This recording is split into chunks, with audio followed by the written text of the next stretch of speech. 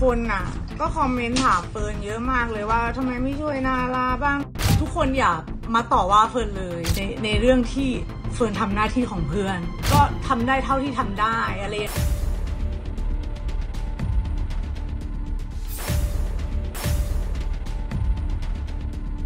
ถ้าไม่มีเฟิร์นอะก็ไม่มีคนประกันตัวแกอยู่ดีเฟิร์นจำเป็นที่จะต้องไปช่วยแกอยู่แล้ว ไม่ว่าจะประกันตัวได้หรือไม่ได้ มันคือน้ำใจ เฟิร์นอะทิ้งเงินไว้ให้นาราทีละสามเดือน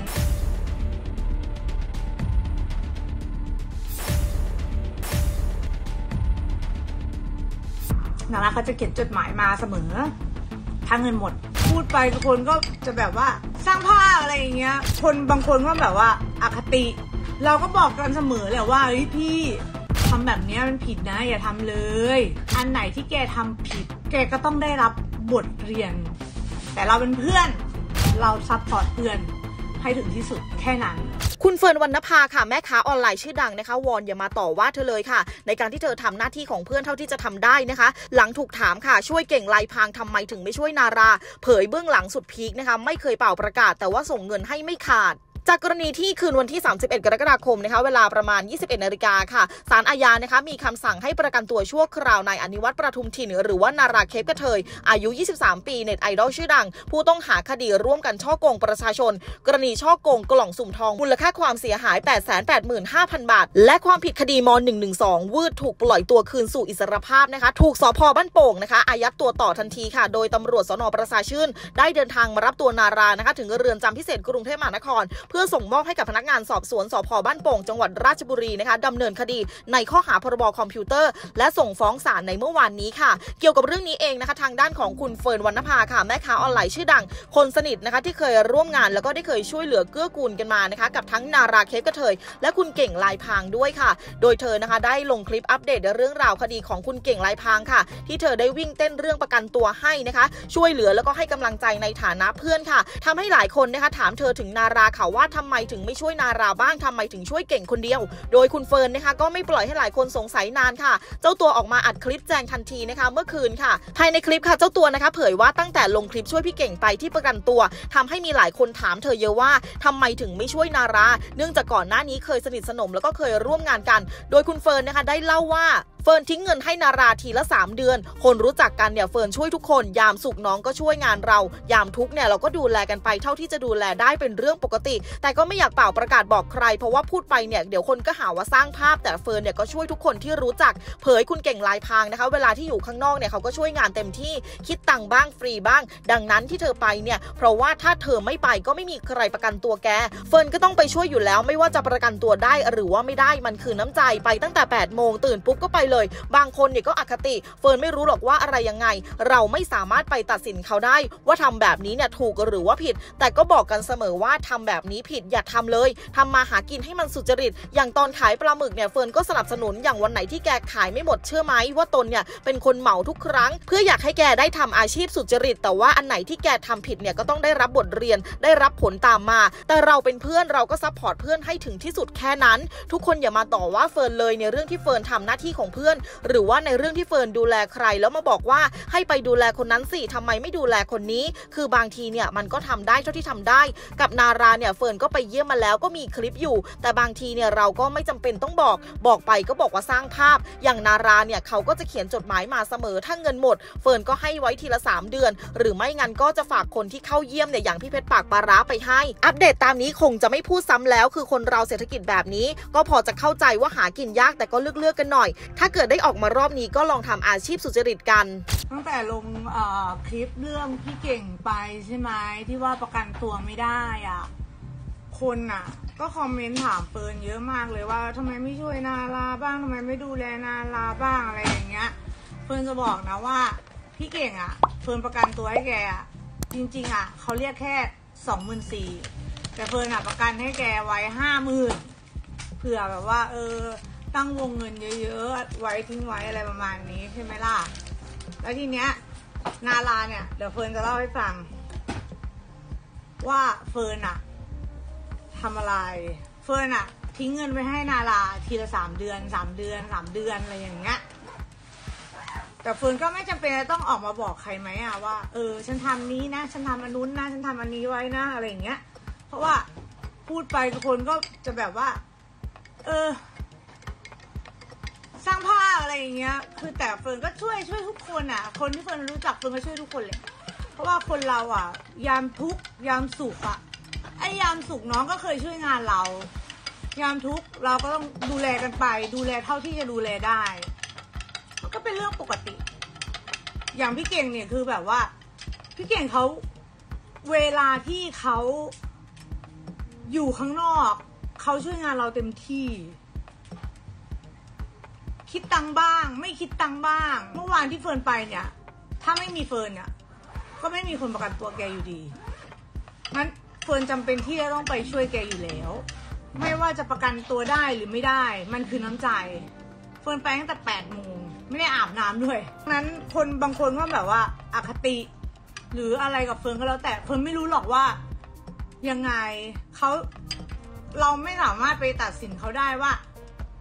เฮ้ยคุณ คุณจะทำคุณทำแบบนี้ถูกหรือผิดอะไรอย่างเงี้ย เราก็บอกกันเสมอแหละว่าเฮ้ยพี่ทำแบบนี้มันผิดนะ อย่าทำเลยทำมาหากินที่มันสุจริต อย่างเช่น แกขายปลาหมึกอย่างเงี้ยเฟิร์นก็สนับสนุนนะ วันไหนที่แกขายไม่หมดอะเชื่อไหมว่าเฟิร์นเป็นคนเหมานะเหมาทุกครั้งที่แกขายไม่หมด เพื่ออยากให้แกทำอาชีพที่สุจริต แต่ถ้าอันไหนที่แกทำผิด แกก็ต้องได้รับ บทเรียนที่แกทำผิด แต่เราเป็นเพื่อนเรา support เพื่อนให้ถึงที่สุดแค่นั้นทำหน้าที่ของเพื่อนแค่นั้นค่ะ ดังนั้น ทุกคนอย่ามาต่อว่าเฟิร์นเลยในในเรื่องที่เฟิร์นทำหน้าที่ของเพื่อน หรือในเรื่องที่เฟิร์นอะดูแล คนนั้นเอ้ยไปดูแลคนนั้นสิทำไมไม่ดูแลคนนี้ล่ะ อะไรอย่างเงี้ย คือบาง บางทีมันก็ทำได้เท่าที่ทำได้อะไรอย่างเงี้ยเนี่ยนาราเขาจะเขียนจดหมายมาเสมอ ถ้าเงินหมด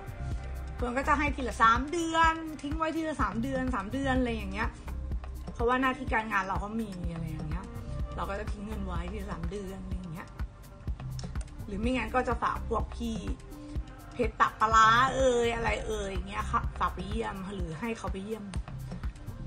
ให้เงินเขาไปเยี่ยมเลย โดยก่อนหน้านี้ค่ะท่านผู้ชมค่ะเมื่อวันที่ 31 กรกฎาคมนะคะที่ผ่านมาค่ะคุณเฟิร์นนะคะได้ออกมาโพสต์คลิปลงติ๊กต็อกส่วนตัวนะคะได้พูดถึงคุณเก่งลายพรางค่ะ ว่ากำลังจะเดินทางไปส่งตัวเข้าเรือนจำนะคะ ไม่ว่าจะยามทุกข์ยามสุขก็เพื่อนกัน อยู่ด้วยกันมาพร้อมกับระบุแคปชั่นนะคะว่าต้องรีบตื่นเช้า เพราะว่าต้องรีบไปส่งพี่เก่งเข้าเรือนจำเรือนจำสำหรับพี่เก่งก็คือเรือนจำจำได้ตลอดเพื่อนกันไม่ทิ้งกัน วันเนี้ยต้องไปส่งพี่เก่งเข้าเรือนจำ คนเราเนาะไม่ว่าจะยาม